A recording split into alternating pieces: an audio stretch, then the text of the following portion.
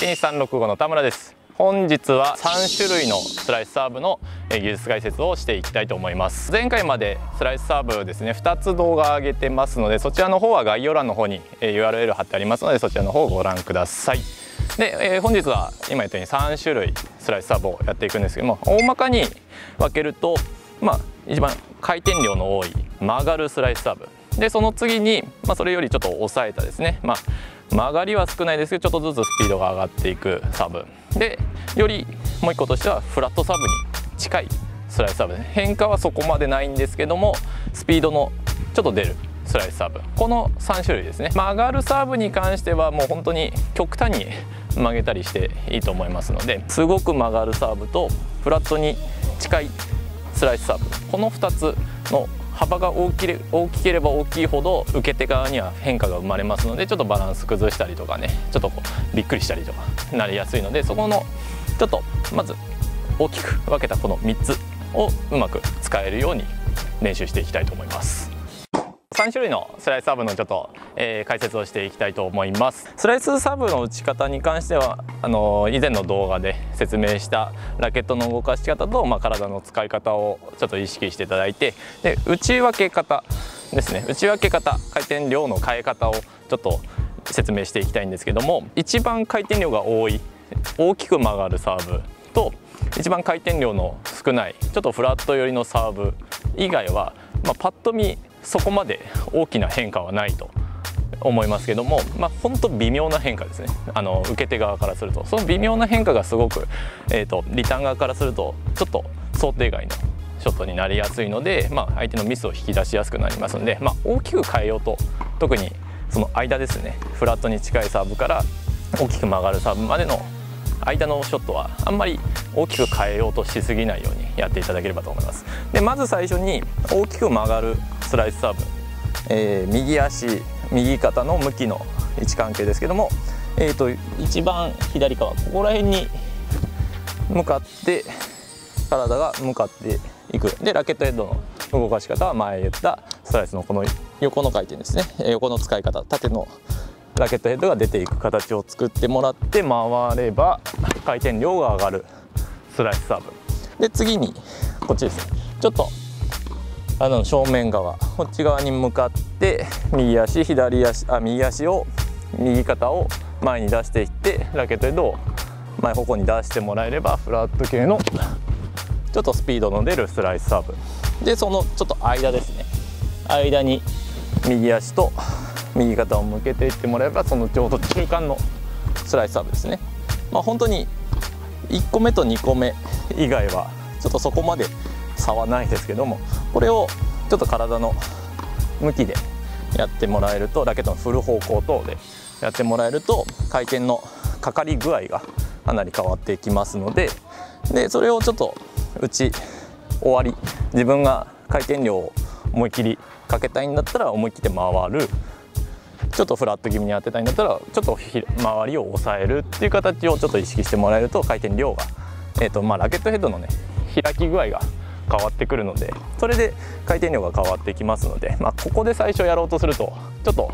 まず打点がぶれやすいと思うのでまずはちょっと体全体の動きを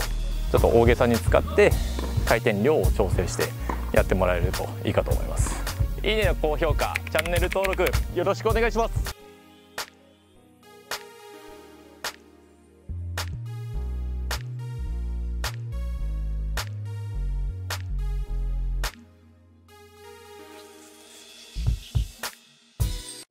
で試合での使い方なんですけども、まあ、最初にやったこの回転量の曲がるスライスサーブは外側ですね。外側に打てば打つほどやっぱり相手がコートの外に逃げていくので外側に向かって打っていく。まあ多少のワイドのホルトに関してはもう全然許容範囲内だと思って思い切ってやってもらった方がいいかと思います。でえっとまあちょっとまず真ん中いきましょうか。次の真ん中。そのフラットに近いものと曲がるサーブの中間に関しては相手のボディですね。まあ言ったらこのボールの方向によって自分の回転かける、えーと、種類もコースもちょっと合わせてもらえるとこれはボディ側にちょっとやってもらえると、まあ、曲がりがね少し相手の懐側に食い込みやすいのでちょっと取りづらくなってでこっちのフラットに近いものに関してはちょっとだけ やっぱり曲がりますね。センター方向狙ってもらえるとちょっと相手相手がこうまたこっちはバック側でちょっとバランス崩す可能性が高くなるので大まかにまあこの3つ正直にこうワイドボディセンターっていう考えで、えーと、試合でも使ってもらえるといいかと思います、まあ、曲がるサーブをセンター側に使うのも1個手なんですけども、まあ、ちょっとコントロール曲がり具合がちょっと制御しきれない場合があるんでまあ一番オーソドックスなのは外側にやっぱり狙っていくっていうのがフォアサイド側ではオーソドックスになると思います。でバックサイドに関しましてもこのボールの通り、まあ、打ち分けていただければいいかと思います、まあ、これはこっちですね。えーと、一番左側にあるものが回転量の多いものになるので、まあ、これもセンター側ですね。センター側にちょっと打ってもらって相手を少しでもコートの、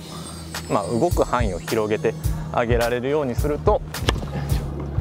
ちょっとね、あのー、次のショットが楽になります。でその中間はまた同じようにボディ気味に打ってもらう。でちょっとフラットに近いものはまあワイド。まあこっちはワイドか、まあ、少しボディ気味でいいですかね。こういう状態ですね。これぐらい。よいしょ。そうですね。でセンターにこう回転量を上げたサーブを合わせてあげられると試合で使いやすくなると思います。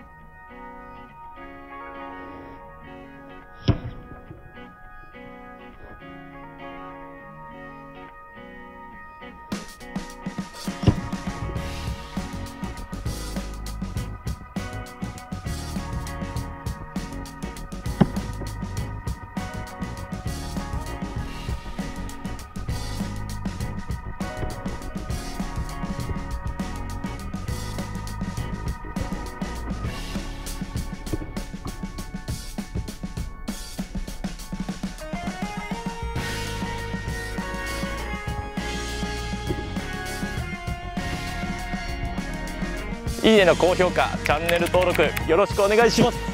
3種類のスライスサーブですね。にちょっと、えー、説明していきましたけども、まあ、ちょっと体の開き具合ですかね。をちょっと意識していただいて、まあ、3つを大まかに分けると一番曲がるサーブが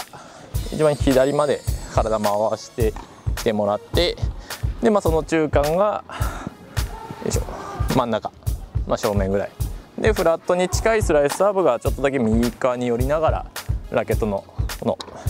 縦に使う動きっていうのを作ってもらえれば OK かと思います。